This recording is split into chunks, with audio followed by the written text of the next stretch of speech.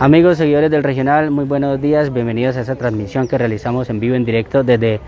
el Coliseo Lorenzo Alcantuz en San Gil, en donde hoy el gobierno nacional a través de Migración Colombia, que es la entidad encargada del control migratorio, la protección del Estado y la seguridad estatal, está realizando este proceso de entrega de unos permisos temporales de protección por 10 años a la población migrante venezolana. Esto pues con el apoyo de la Administración Municipal, la Policía y por supuesto de Migración Colombia. Sabemos que pues el país y el presidente Iván Duque ha firmado unos tratados internacionales eh, de políticas humanitarias y migratorias y dentro de eso pues están este estatuto temporal de protección. Va dirigido pues a los venezolanos regulares que cuenten con alguno de estos documentos anteriores, que era el permiso de ingreso y permanencia, el permiso temporal de permanencia o el permiso especial de permanencia. Quienes hayan tenido esos documentos y pues estén eh, todavía de forma eh, irregular o regular en el país, son los que pueden tener estos trámites para que sean reconocidos en condición de refugiados. Venezolanos irregulares también que hayan ingresado al país antes del 31 de enero de 2021 y venezolanos que ingresen de forma regular en los dos años siguientes a la entrada en vigencia del estatuto por un puesto de control migratorio autorizado. Pues es lo que se está viviendo el día de hoy, son 1.300 eh, permisos de protección temporal por 10 años aproximadamente que están dándole a la población venezolana previo requisito y cumplimiento de lo que ya dijimos acá, ¿sí? No es que se le den todos los migrantes, sino deben cumplir unos requisitos, hacer el trámite ante Migración Colombia y poder pues recibir este documento. La página oficial www.migracioncolombia.gov.co visibles y allí pues entran y tienen toda la información. Las personas pues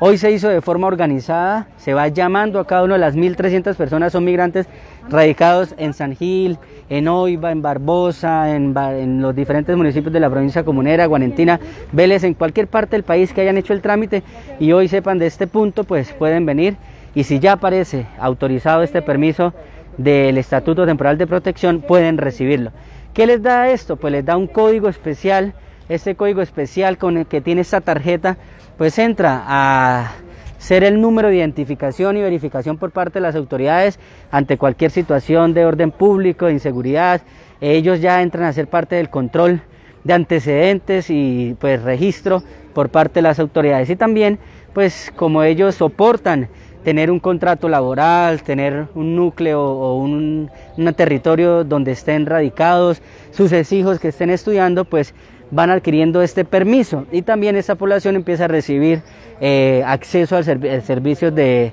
salud y educación y también como poder trabajar de forma legal en Colombia. Pues esto hace parte de la política migratoria que se está desarrollando en el país y por supuesto están los eh, funcionarios de Migración Colombia con esta población y por supuesto el apoyo de la alcaldía y la Policía Nacional. Vamos a hablar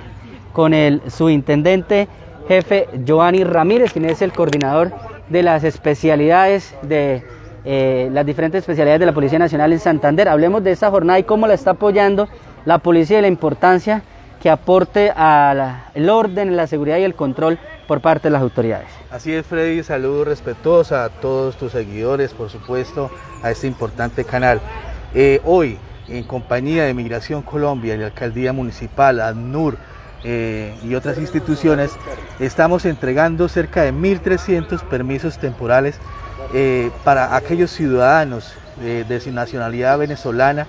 que de acuerdo al estatuto de protección al migrante eh, se le viene el Estado colombiano les va a ofrecer con el ánimo de que por supuesto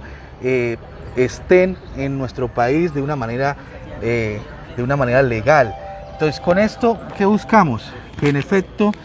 eh, eh, los, eh, los ciudadanos tengan las posibilidades y las garantías de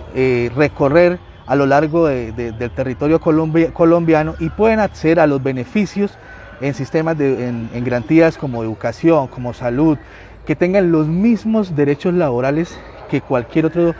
ciudadano colombiano tenga. Entonces, eso es la campaña que se está realizando el día de hoy. Ahora, hay que, hay que entrever otras cosas que son bastante importantes y es decirles aquellas personas que estuvieron eh, o ingresaron al país antes del 31 de enero y que obviamente puedan demostrarle a Migración Colombia que antes de esta fecha ellos tenían algún vínculo laboral o, tenían sus hijos estudiando y ya estaban viviendo acá, eh, pues es la manera como obviamente pues, se puede demostrar de que ellos ya estaban acá en, Colombia eh, realizando actividades laborales o simplemente eh, pues ya estaban permaneciendo acá en nuestro país provenientes del, de nuestro, del país hermano de Venezuela. Entonces, y esta es la manera como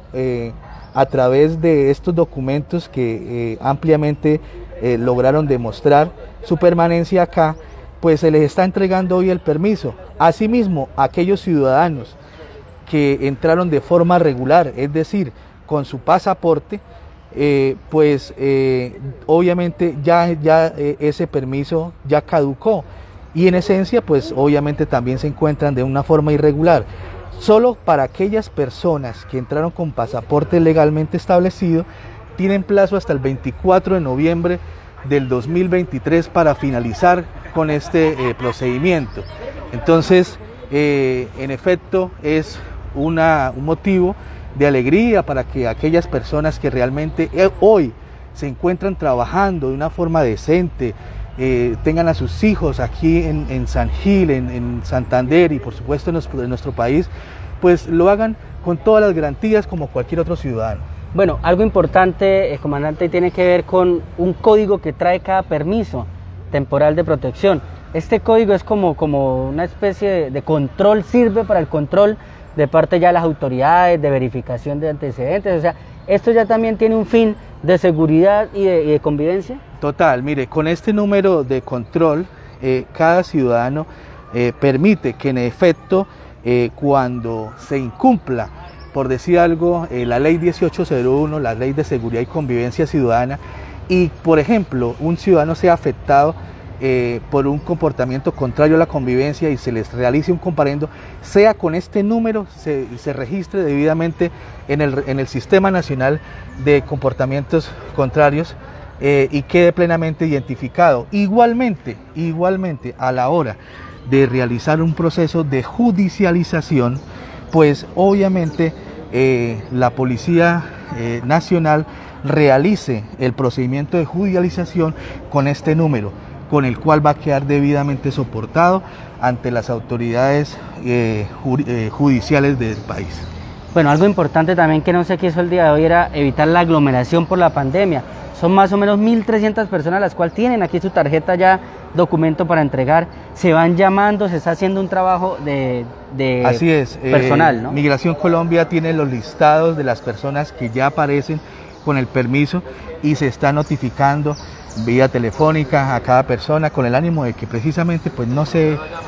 no, no se acumulen aquí grandes cantidades de personas. Precisamente se está llamando y se está realizando de una forma casi personalizada la entrega de este documento. Entonces, eh, atendemos y hacemos el llamado para que obviamente aquellas personas que sean eh, que, se, que se comuniquen y que sean orientadas, pues asistan de forma inmediata eh, y puedan reclamar su documento. Muy bien, agradecemos al intendente jefe Giovanni Ramírez, quien es el representante de la policía que está aquí pues en este momento presente y apoyando este proceso de eh, Migración Colombia con por supuesto la alcaldía y las diferentes instituciones del Estado. Pues estaremos atentos a todo lo que se presenta con esta importante jornada. Son más o menos 1.300 permisos eh, temporales de protección que entran dentro de este estatuto de protección y por supuesto que el gobierno nacional ha firmado los diferentes tratados internacionales y humanitarios para eh, esta población migrante y refugiados en el país y de alguna forma puedan acceder a